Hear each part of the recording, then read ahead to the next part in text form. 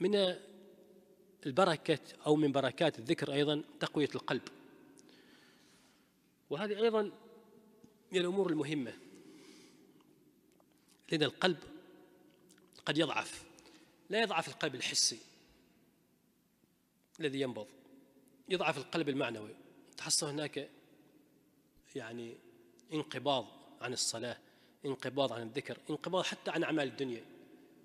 كسل الذكر يقوي القلب لأمور الدنيا ولأمور الآخرة. بتحصل نشيط ويقوي القلب في الأمر بالمعروف والنهي عن المنكر في عمل الصالحات في طلب العلم في التأليف في كذا في مساعدة الناس ها لأنه ينشرح صدره. ويقوي أيضا على الصلاة والخشوع فيها. كل هذا إيش؟ من بركات الذكر. كذلك من بركات الذكر زيادة الرزق بإذن الله تعالى.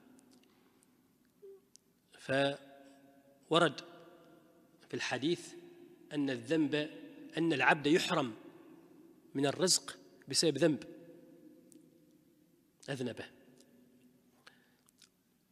فما دام كذلك فبالعكس الذكر إيش؟ يقلب الرزق.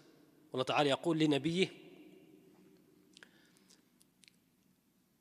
وأمر أهلك بالصلاة واصطبر عليها لا نسألك رزقا. فالصلاة ذكر لا نسألك رزقا. ففي ذلك دلالة على أن الذكر وما شابهه من أسباب الرزق من أسباب البركة في الرزق. ثم أيضا من بركة آه الذكر لإعانة على التوبة. وهذا من من البركات المهمة جدا.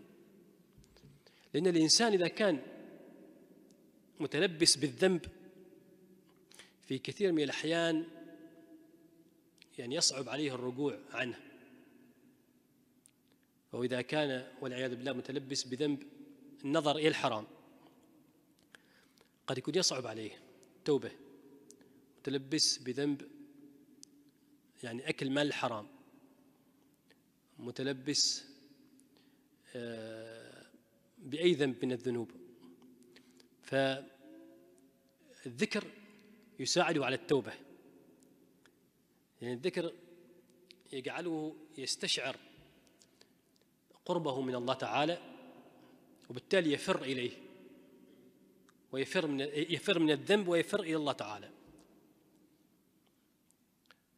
فمن بركات أو من فوائد الذكر الإعانة على التوبة.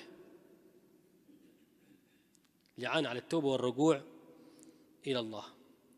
ثم من بركات الذكر أيضا سهولة الذكر. يعني دا إنسان يذكر ربه يسهل عليه الذكر بعد ذلك. لكن إذا كان إنسان غافل وواقف عن الذكر ويبدأ في الذكر يحس إيش؟ بصعوبة في البداية. لكن إذا كان من الذاكرين الله كثيرا دائما في ذكر إذا توقف عن ذكر يستشعر يشعر بوحشة.